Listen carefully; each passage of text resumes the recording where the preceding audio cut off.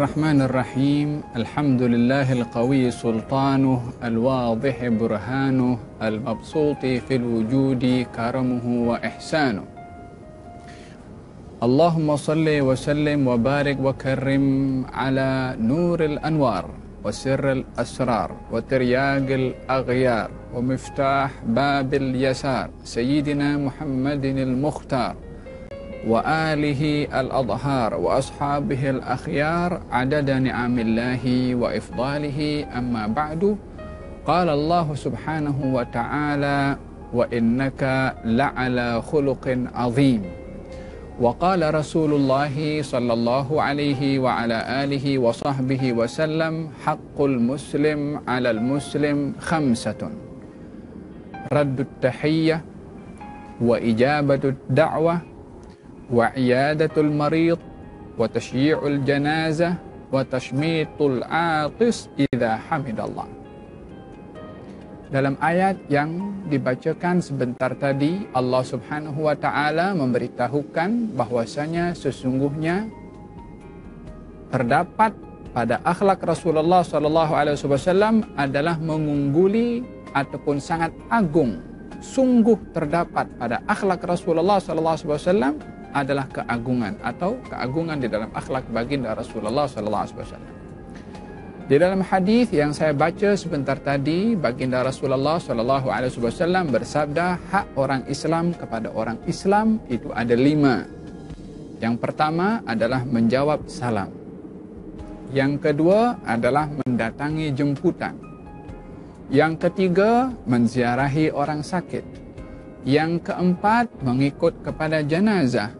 Yang kelima adalah menjawab dengan doa kepada orang yang bersin lalu mengucap Alhamdulillah.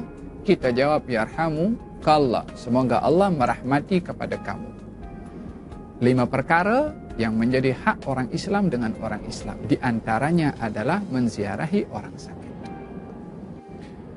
Antara ayat dan hadis yang saya bacakan ada hubungan yang erat di dalam akhlak Rasulullah sallallahu alaihi wasallam menziarahi orang sakit. Tentunya bahagian daripada dugaan yang diberikan oleh Allah Subhanahu wa taala dengan kepelbagaian bentuk dugaan yang diberikan salah satunya adalah sakit. Di situ ada dugaan takut, di situ ada dugaan sakit, di situ ada dugaan uh, perasaan berpisah, sedih berpisah dengan orang kita kasihi, di situ ada dugaan kekurangan di dalam harta dan pelbagai macam jenis dugaan yang mana Allah Subhanahu wa taala menjadikan dugaan-dugaan, ujian-ujian yang Allah berikan bukan tiada makna dan tiada tujuan pada dugaan itu. Tapi untuk menguji keimanan seseorang beriman kepada Allah Subhanahu wa taala. Dugaan adalah untuk menghapuskan dosa orang yang diduga oleh Allah Subhanahu wa taala dugaan itu untuk memberikan derajat kepada orang-orang yang sabar dalam dugaan Allah Subhanahu wa taala. Dugaan adalah untuk mengangkat darjat orang-orang yang diduga oleh Allah Subhanahu wa taala. Dugaan atau ujian sebagai tanda yang ditunjukkan akan kasih sayang Allah Subhanahu wa taala kepada orang yang diduga.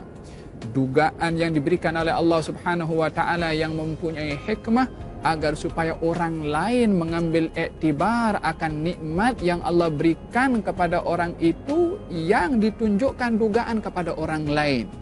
Maka ini adalah beberapa hikmah yang Allah uh, yang disimpan di dalam uh, bentuk dugaan dan ujian yang diberikan oleh Allah Subhanahu wa taala.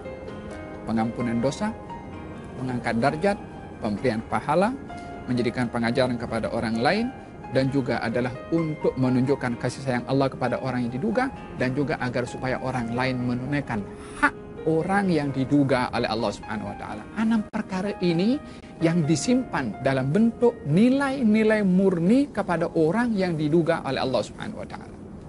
Maka dengan demikian kita dapat memahami bahwasanya di dalam dugaan itu ada hak kepada orang yang diduga dan juga ada hak kepada orang di luar sana yang tidak diduga. Maka di dalam hal ini baginda Rasulullah sallallahu alaihi wasallam menunaikan apa yang menjadi hak kepada orang yang diduga oleh Allah supaya dipenuhi oleh orang yang tidak diduga. Yang diduga dengan sakit haknya adalah diziarahi oleh siapa? Oleh yang sihat. Kenapa orang yang sihat menziarahi kepada orang yang sakit? Supaya menyedari bahagian daripada nikmat yang Allah berikan kepada orang itu adalah kesihatan yang tidak didapat oleh orang yang sedang berada dalam keadaan sakit. Oleh karena demikian, baginda Rasulullah sallallahu alaihi wasallam mengajarkan kalau seseorang melihat uh, seseorang yang lain terkena musibah, maka dia berdoa kepada Allah Subhanahu wa taala. Apa doanya? Alhamdulillah alladhi afani mimma ibtalaka bihi faddalani ala kathirin minan nasi tafdila atau minal khalqi tafdila. Segala puji bagi Allah yang memberikan perlindungan dan keselamatan kepada saya. Akan dugaan yang Allah berikan kepada kamu yakni orang yang kita ziarahi itu atau orang yang terkena musibah itu. Segala puji bagi Allah menyelamatkan saya dengan apa yang saya nampak dengan dugaan yang Allah berikan kepada kamu dan memuliakan kepada saya daripada ramai makhluk-makhluk Allah Subhanahu wa taala dengan pelbagai jenis kemuliaan. Ini adab pertama kepada orang yang menziarahi adalah mengingati besarnya nikmat Allah kepada dirinya yang tidak didapat oleh orang yang sedang uh, diziarahi.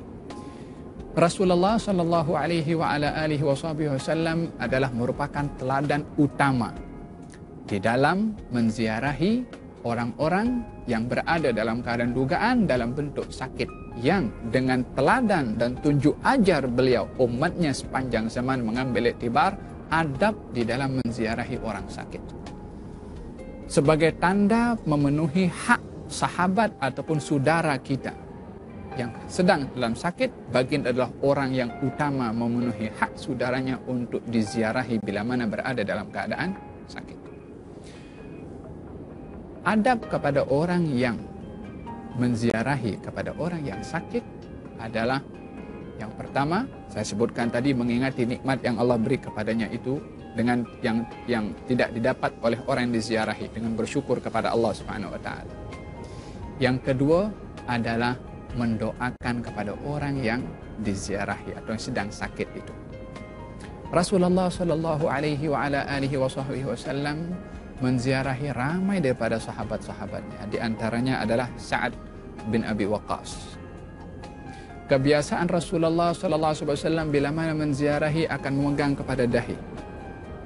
Orang yang diziarahi untuk didoakan oleh Nabi sallallahu alaihi wasallam ketika menziarahi Sa'ad Nabi bersabda Allahumma shfi Sa'dan Allahumma shfi Sa'dan Allahumma shfi Sa'dan Ya Allah berilah kesembuhan dan kesehatan kepada Sa'ad Ya Allah berilah kesembuhan kesembuhan dan kesehatan kepada Sa'ad berilah kesembuhan dan kesehatan kepada Sa'ad Bila mana menziarahi Salman Al-Farisi yang sakit pun demikian baginda Rasulullah sallallahu alaihi wasallam berdoa untuk kesembuhannya di antara doa yang lain yang dibaca oleh baginda Rasulullah kita sebagai umatnya, kita sebagai pengikutnya dan kita adalah mempunyai hubungan hak dengan saudara-saudara kita, sahabat handai kita yang mereka ataupun kita terkena sakit dan musibah adalah hendak menziarahi kepada orang yang kita datang menziarahi untuk mendoakan kepada orang tersebut yaitu doa Rasulullah sallallahu alaihi wa ala alihi wasallam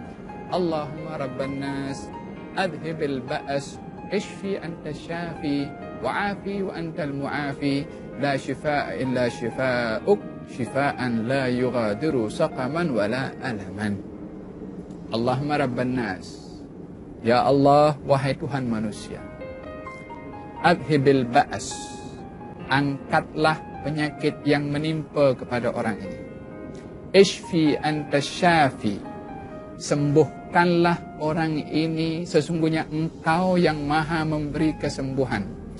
Wa'afi wa antal mu'afi lindungilah jagalah orang ini. Sesungguhnya engkau adalah zat yang maha melindungi. Ya Allah angkatlah penyakit daripada orang ini yang engkau bersihkan sehingga tak ada tersisa sedikit pun daripada sakit yang dialami oleh orang ini. Ini salah satu doa yang dibaca oleh Nabi sallallahu alaihi wasallam di antaranya memegang kepada dahi dan mendoakan daripada dua doa yang saya baca sebentar tadi daripada doa-doa Nabi Muhammad sallallahu alaihi wa ala alihi wasallam. طالما أشكو غرامي يا نور الوجود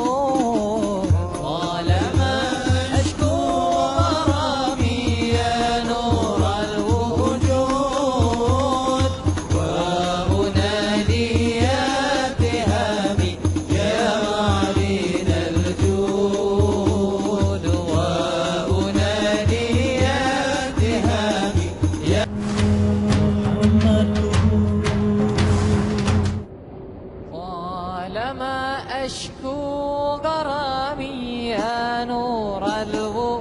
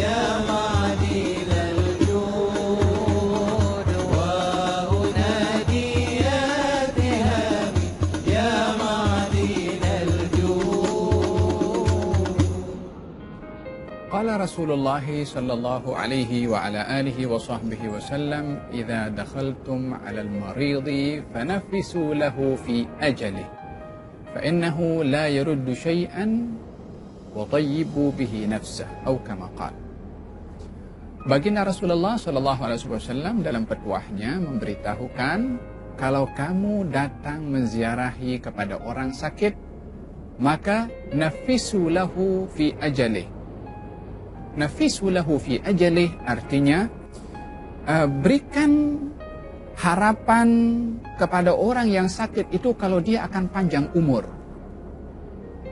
Fa innahu la yaruddu syai'an.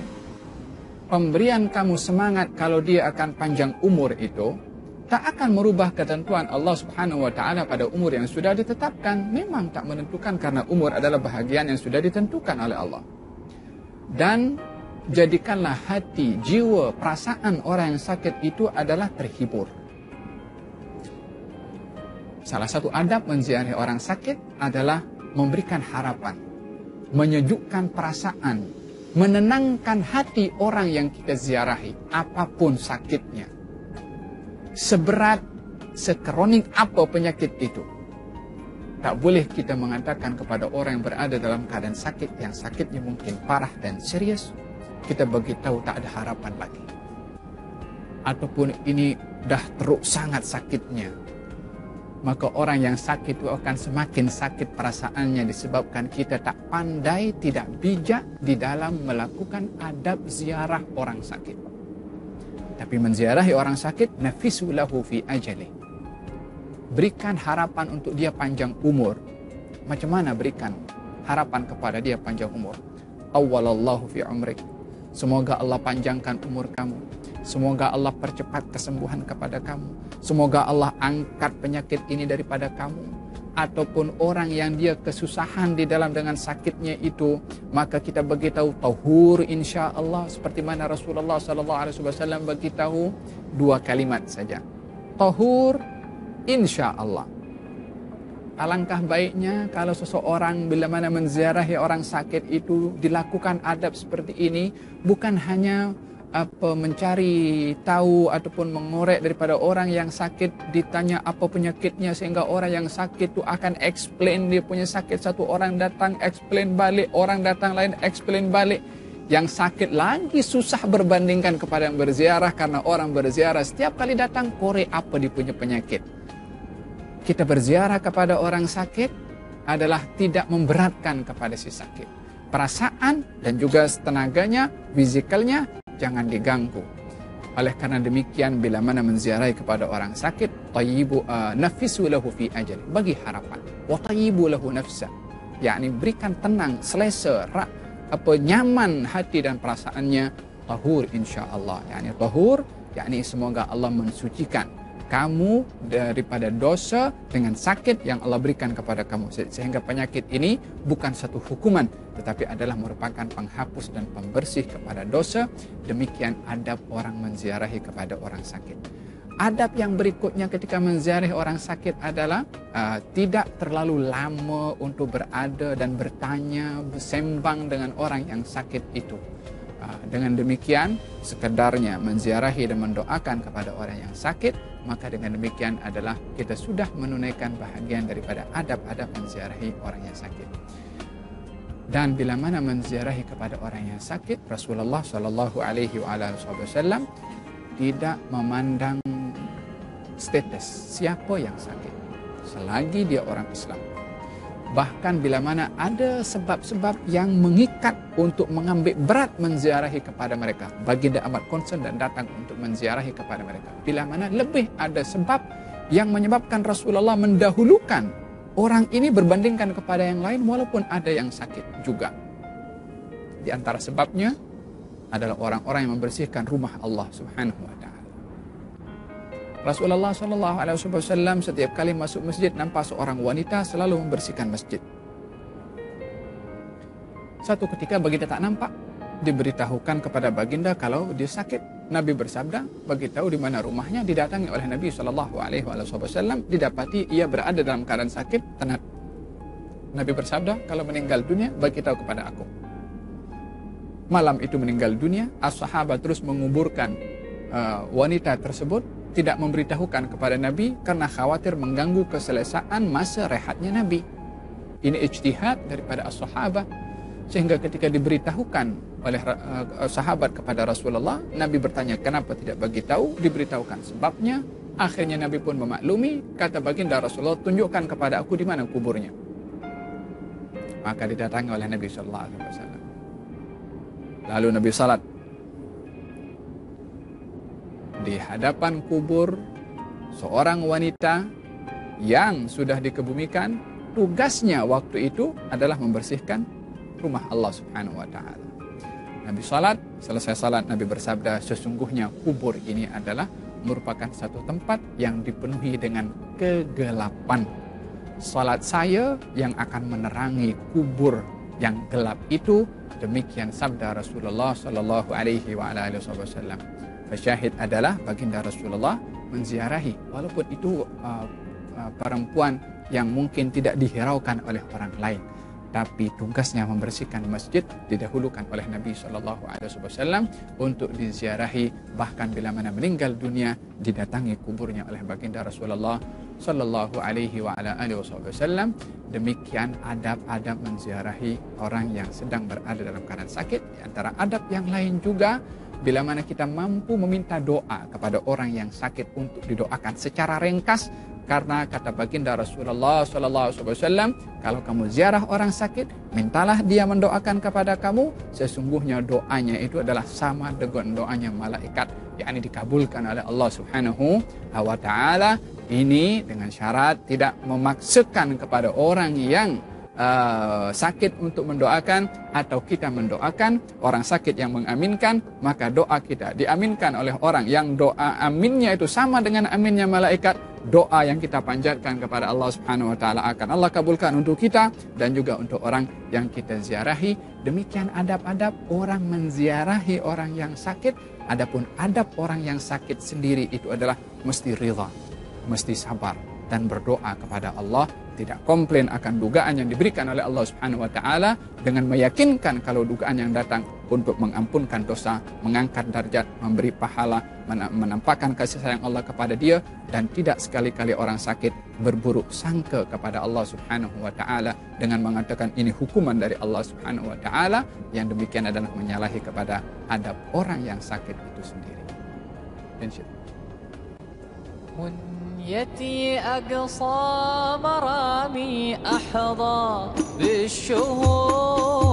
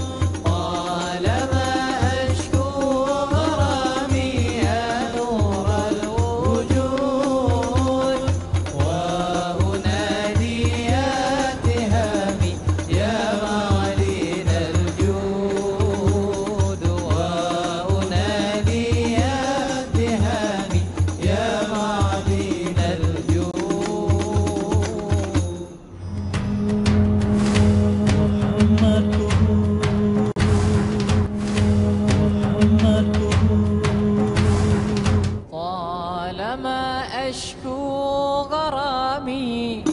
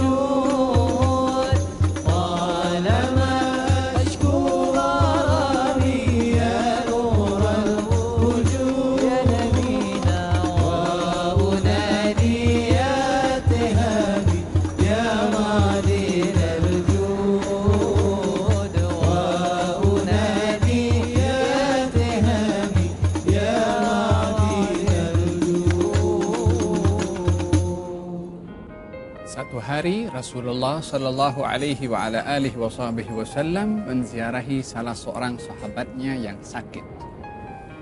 Maka salah satu yang ditunjukkan oleh baginda Rasulullah sallallahu alaihi wa ala wasallam ketika menziarahi sahabatnya itu adalah menanyakan kepada sahabatnya yang sakit itu aturidu syai'an kamu nak sesuatu ke?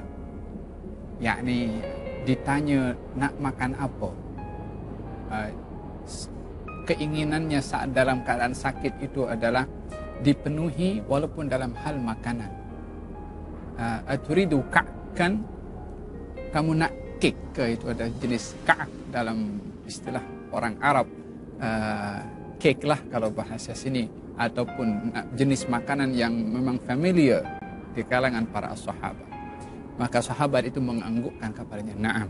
Ya, saya mau ka'ak maka Nabi minta kepada ahli keluarganya untuk mendatangkan kek ataupun makanan yang diminta oleh seorang yang sedang berada dalam keadaan sakit. Adab di dalam orang menziarahi orang sakit juga adalah ditanyakan apa yang dia nakkan. Ada seorang sahabat Nabi sallallahu alaihi wasallam yang ketika berada dalam keadaan sakit dan sakitnya itu adalah sakit tenat uh, meminta sesuatu tetapi permintaannya amat istimewa.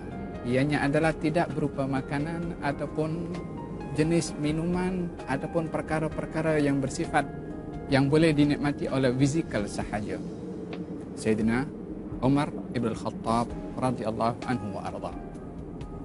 Setelah ditusuk dengan tombak oleh seorang bernama Abu Lu'lu' al-Majusi maka tombak itu mengenai kepada anggota tubuh badannya yang kalau beliau Sayyidina Umar bin Khattab memakan sesuatu makanan itu boleh keluar melalui luka atau lubang luka kesan daripada tombak yang mengenai tubuh badannya. Maka beliau menyedari kalau beliau akan kembali kepada Allah Subhanahu wa taala. Maka beliau menginginkan sesuatu.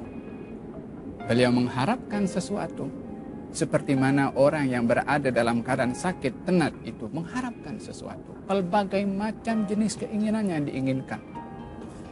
Yang menyadari akan dosanya, dia akan memohon ampun kepada Allah.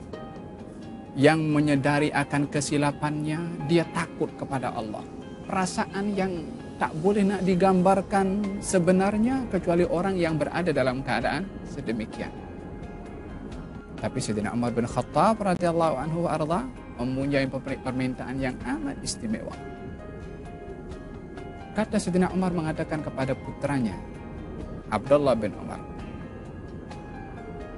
sampaikan kepada Ummul Mukminin Aisyah agar supaya memberikan ruang yang kosong di sebelah dua sahabatnya yaitu Rasulullah dan Sayyidina Abu Bakar ada satu ruang kosong sikit di situ.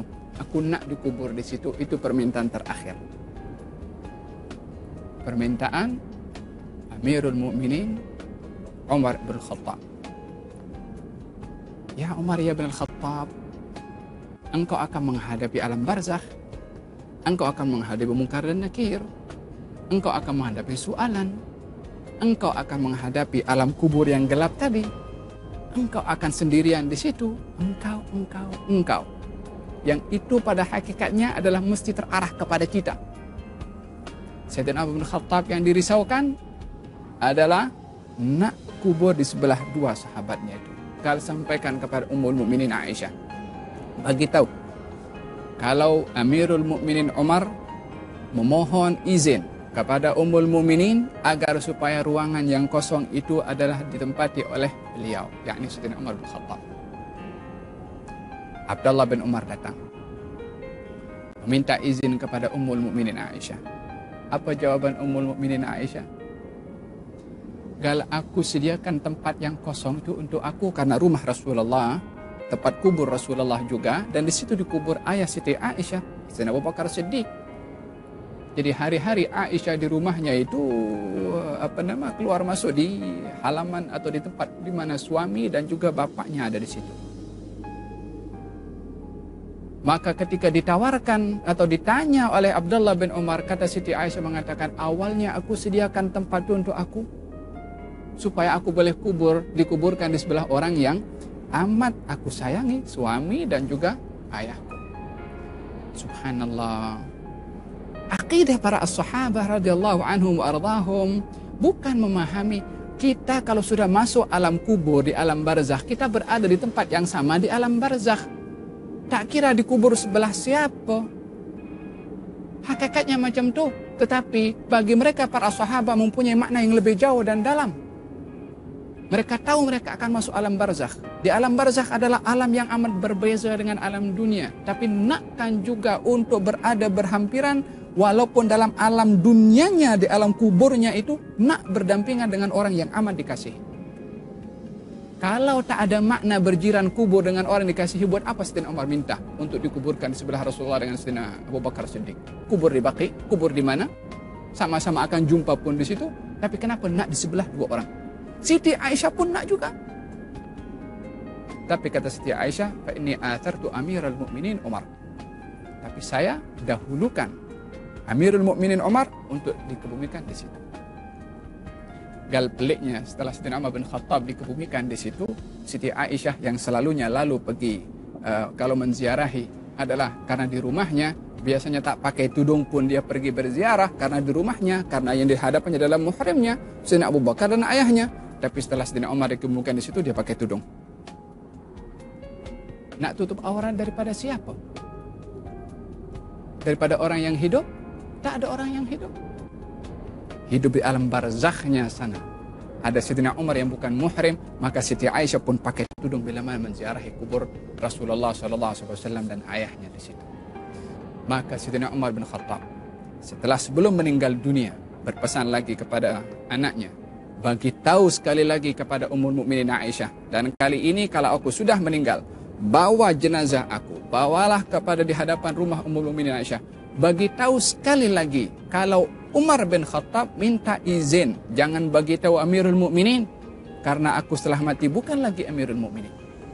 Bukan lagi menjadi pemimpin kepada kaum mukminin. Bagi tahu Umar bin Khattab tanpa sebut Amirul Mukminin Umar bin Khattab meminta izin untuk dikebumikan di sebelah Sayyidina Abu Sayyidina Rasulullah dan juga Abu Bakar Siddiq maka ditunaikan wasiat Sayyidina Umar bin Khattab oleh Abdullah bin Umar. Maka kata Sayyidina Abdullah bin Umar setelah diberitahukan Siti Aisyah pun mengizinkan saya dahulukan Umar saya izinkan Umar saya ridha Umar untuk berada di tempat tersebut permintaan Sayyidina Umar bin Khattab amatlah istimewa Mudah-mudahan kita pun juga mengharapkan untuk dikumpulkan dan dihimpunkan bersama dengan para salihin dan penghulu kepada para salihin Rasulullah sallallahu alaihi wasallam.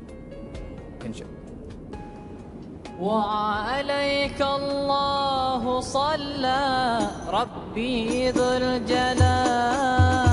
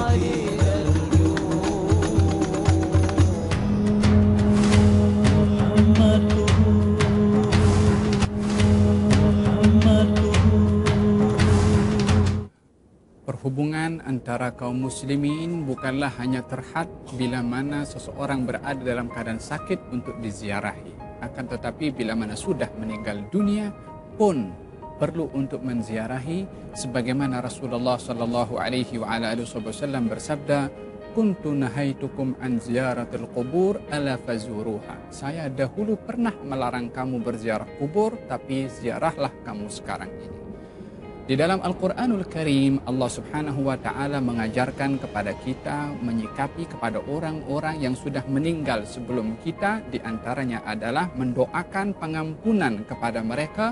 Allah berfirman dalam Al-Quranul Karim, وَالَّذِينَ جَاءُوا مِنْ بَعْدِهِمْ يَقُولُونَ رَبَّنَا وَفِرْ لَنَا وَلِإِخْوَانِنَا الَّذِينَ سَبَقُونَا بِالْإِيمَانِ Ya, yani, dan mereka yang datang setelah muhajirin dan ansar daripada kaum mukminin, adalah men- mengatakan ya Allah ampunkan dosa kami dan orang-orang yang mendahului kami dalam keadaan iman. Menziarahi kubur adalah memintakan ampun kepada Allah Subhanahu wa taala untuk diri sendiri dan juga untuk orang yang sudah meninggal dunia. Ini adab di dalam menziarahi kubur. Adab yang berikutnya Rasulullah Shallallahu Alaihi Wasallam kerap menziarahi al-baqi itu kubur para sahabat dan baginda bila mana masuk dalam baqi mengucapkan assalamualaikum. Dara qaumin mu'minin wa inna insyaallah bikum lahiqun. Antum salafuna wa nahnu bil athar yaghfirullahu lana wa lakum.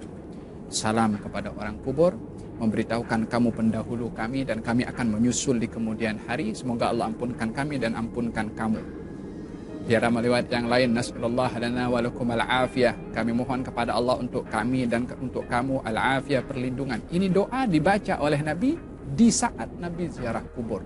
Meminta kepada Allah di saat Nabi ziarah kubur. Meminta pengampunan meminta juga perlindungan dari Allah Subhanahu wa taala kalau berziarah kubur tidak ada manfaat untuk berdoa untuk diri sendiri, kenapa Nabi ziarah kubur meminta perlindungan dan pengampunan kepada Allah Subhanahu wa taala? Ini pun Nabi yang melakukan. Maka laqad kana lakum fi Rasulillah uswatun hasanah. ada pada adab atau teladan Rasulullah sallallahu pribadi Rasulullah sallallahu alaihi wasallam teladan yang baik. Rasulullah menziarahi kubur, didapat dia dua kubur diziarahi Rasulullah, kemudian Nabi bersabda, dua orang dalam kubur ini sedang diadab oleh Allah Subhanahu wa taala. Yang satu suka mengadu domba, yang satu tidak menghabiskan dalam buang air kecilnya.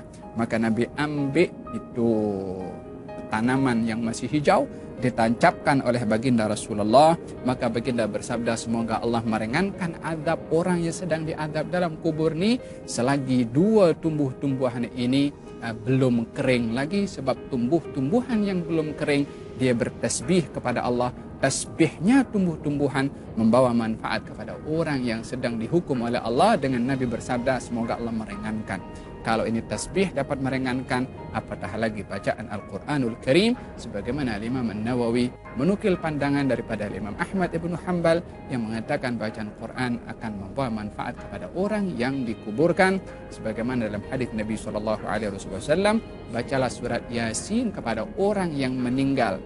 Ada dua makna di sini orang yang meninggal yang sedang berada dalam keadaan sakaratul maut ataupun juga orang yang sudah meninggal dunia kalau ini adab menziarahi kubur yang dilakukan oleh Rasulullah sallallahu alaihi wasallam maka kepada orang-orang yang beriman apatah lagi menziarahi kubur Nabi Muhammad sallallahu alaihi wa ala alihi wa sahbihi wasallam yang mengajarkan kepada kita adab ziarah orang sakit yang mengajarkan kepada kita adab ziarah kubur yang berjasa kepada kita dengan pelbagai jenis jasa yang kita tak mampu nak membalasnya. Lalu adakah ada seorang beriman berfikir tak perlu menziarahi Rasulullah sallallahu alaihi wa ala alihi wasallam. Barang siapa yang pergi ke haji dan tidak menziarahi aku faqad jafani. Maka dia adalah menjauhkan dirinya daripada aku kata baginda Rasulullah sallallahu alaihi wa ala alihi wasallam.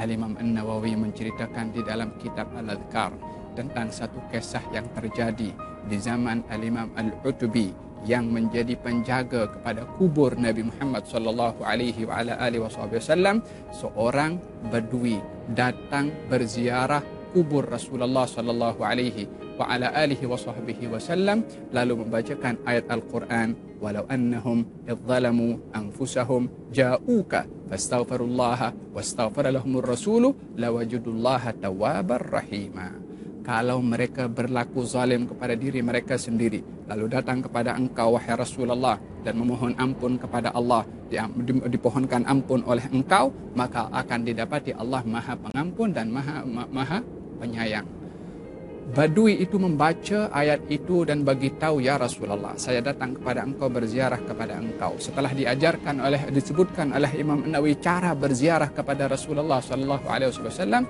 dia mengatakan saya berziarah kepada engkau. Sebagaimana Allah suruh dalam Al-Qur'anul Karim aku berlaku zalim kepada diri aku sendiri. Aku datang kepada engkau memohon ampun kepada Allah dan juga agar supaya dimohonkan ampun disebabkan oleh engkau. Mudah-mudahan Allah ampunkan dosa aku. Maka dia membacakan bait ya khairaman dufinat في القاء أعظمه فطاب من طيبهن القاء والأكم نفسي فداء لقبر أنت ساكنه فيه العفاف وفيه الجود والكرم ini syair memuji kepada Rasulullah sallallahu alaihi wasallam jiwaku kukorbankan untuk membela kubur yang engkau berada di dalamnya kata badui itu lah yang mana dalamnya adalah afaf dan juga uh, bau yang semerbak maka dia pun pergi badui itu lalu aludbi yang ada di samping kubur Rasulullah sallallahu alaihi wasallam tertidur lalu terjaga daripada tidurnya dan mengatakan aku bermimpi melihat Rasulullah sallallahu alaihi wasallam mengatakan kepada aku kejarlah badui itu dan bagi tahu kalau Allah sudah ampunkan dosa badui tersebut Imam Udbi pun pergi memberitahukan kepada badui tersebut. Ini kisah diceritakan oleh Imam An-Nawawi dalam kitab Al-Adhkar dan juga Imam Ibn Kathir dalam kitab Tafsir Al-Azim yang ditulis oleh Imam Ibn Kathir rahmatullahi alaihi Demikian berziarah kepada orang yang amat berjasa kepada kita yaitu Nabi Muhammad sallallahu alaihi wasallam. Al-Imam An-Nawawi mengatakan dalam kitab Al-Adhkar bab ziarah kubur Rasulullah sallallahu alaihi wasallam. Bila mana kamu berziarah, penuhi dengan keagungan di dalam hati kamu tentang kedudukan orang ini di sisi Allah Subhanahu wa taala. Berziarahlah sementara kamu menghadap kepada Al-Hujrah itu kubur Nabi sallallahu alaihi wasallam dengan membelakangi kepada al-qiblah. Ucapkan salam di, dengan berselawat kepada Rasulullah sallallahu alaihi wasallam dipuji kedudukan Rasulullah sallallahu alaihi wasallam kemudian mengucapkan semoga Allah memberikan balasan kepada engkau atas jasa yang engkau telah tunaikan dengan membawa agama ini kepada kami. Lalu berundur ke belakang dan sambil menghala ke kiri. Yani disuruh berundur ke belakang dan menghala ke kiri untuk menziarahi kubur atau ke kanan kepada kubur Sayyidina Abu Bakar As-Siddiq. Kenapa Imam Nawawi suruh mengatakan mengundur ke belakang? Supaya tidak sama berdiri di hadapan Rasulullah dengan berdiri di hadapan Sayyidina Abu Bakar As-Siddiq. Insan terulung ini adalah mesti didahulukan dan dikedepankan dalam segala halnya sehingga bila mana ziarah kepada Sayyidina Abu Bakar berundur ke belakang sedikit supaya tak sama menziarahi kepada Rasulullah sallallahu alaihi wasallam kata Sayyidina Abu Bakar Siddiq ketika berada dalam keadaan sakaratul maut berada dalam keadaan sakit beliau bertanya hari ini hari apa diberitahukan hari Isnin Galia mengatakan aku ingin meninggal dunia pada malam nanti atau esok yang nakkan meninggal bukan hari Isnin. Pasal apa? Tak mau harinya sama dengan harinya Rasulullah khawatir tertakut menyamakan kedudukan dengan Rasulullah SAW sehingga meninggalnya nak hari the next day atau malamnya supaya tak sama karena sopan tak nak sama dengan Rasulullah SAW wa ala alihi wasallam demikian Imam Nawawi mengatakan dan berziarah berundur ke belakang lalu ucapkan salam kepada Sayyidina Abu Bakar dan juga Sayyidina Umar bin Khattab radhiyallahu anhu wa arda di zaman Sayyidina Bilal setelah dua tahun daripada wafatnya Rasulullah sallallahu alaihi wasallam Bilal ibnu Rabah yang tidak lagi sanggup berada di kota Madinah karena setiap kali melangkah di kota Madinah mengingati di sini aku berjalan dengan Rasulullah di sana berjalan dengan Rasulullah. Di setiap tempat yang disaksikan adalah kenangan bersama dengan Nabi Muhammad sallallahu alaihi wa ala alihi wasallam maka Bilal terpaksa mengatakan aku kena mesti berhijrah. Dia pun berhijrah ke negeri Syam. Semoga Allah Subhanahu wa taala angkat musibah menimpa kepada kaum muslimin di timur dan di barat khususnya adalah negeri Syam dan juga negeri-negeri yang lain. Setelah dua tahun daripada wafatnya Rasulullah sallallahu alaihi wasallam, Sayyidina Bilal ibnu Rabah tidak sanggup lagi untuk datang pergi menziarahi kota Madinah disebabkan ingatan selalu yang mendalam bersama dengan Rasulullah. Setelah dua tahun Sayyidina Bilal tidak datang ke kota Madinah, beliau berada dalam keadaan tidur lalu bermimpi melihat kepada Rasulullah sallallahu alaihi wasallam. Dalam Sahihul Bukhari dikatakan barang siapa yang bermimpi melihat aku maka dia benar melihat aku kata Nabi sesungguhnya syaitan tidak boleh menyerupai aku kata baginda Rasulullah sallallahu alaihi wasallam bermimpi melihat jumpa dengan Rasulullah dalam mimpinya dan diberitahukan kepada Bilal, wahai Bilal, ma hadzal jafa? Wahai Bilal, apa ini jauh dah engkau tak datang kepada aku? Ma hadzal jafa? Alangkah jauhnya aku dengan engkau atau engkau dengan aku ini. Bukankah sudah tiba waktunya untuk, untuk engkau datang berziarah kepada aku? Kata baginda Rasulullah, maka Bilal pun keesokan harinya terus bergegas pergi ke kota Madinah, disambut kedatangan Bilal di kota Madinah, mengingati kebersamaan Bilal dengan Rasulullah sallallahu alaihi wasallam, berziarah kepada Rasulullah dengan menghabiskan kerinduannya kepada Rasulullah sallallahu alaihi wasallam sehingga Sayyidina Abu Bakar pada waktu yang juga menyambut kedatangan Bilal memohon agar Bilal azan, dia mengatakan aku tak boleh azan sehingga putra Rasulullah Al Hasan wal Husain cucu baginda Rasulullah memohon untuk agar supaya Bilal adhan maka Bilal pun mengatakan dua orang ini minta aku tak boleh tolak karena permintaannya adalah permintaan datuknya Nabi Muhammad sallallahu alaihi wasallam. Dia pun naik dan mengumandangkan adhan sampai kepada sebutan asyhadu anna Muhammadar Rasulullah. Dikatakan tidak pernah terjadi satu tangisan di kota Madinah seperti mana tangisan yang berlaku pada waktu itu ketika Bilal mengucapkan asyhadu anna Muhammadar Rasulullah As-sahaba mengatakan, Abu Isa Rasulullah, adakah Nabi dibangkitkan lagi oleh Allah Subhanahu wa taala karena suara itu membawa ingatan para sahabat dengan Nabi Muhammad sallallahu alaihi wasallam? Bilal turun daripada tempat azannya tak sanggup lagi menyempurnakan azan Bilal disebabkan ingatan para sahabat dengan suara itu yang mengingatkan memori mereka dengan Nabi Muhammad sallallahu alaihi wa ala alihi wasallam Semoga Allah Subhanahu wa taala rahmati kita dan bimbing kita untuk dapat sampai ke kota Madinah berziarah kepada Rasulullah sallallahu alaihi wasallam dan moga-moga Allah Subhanahu wa taala berikan ganjaran kepada baginda Rasulullah dengan sebaik-baik ganjaran yang diberikan oleh Allah kepada hamba-hambanya yang saleh. Hadza billahi taufik. Lanjut. مولاي صل وسلم دائما ابدا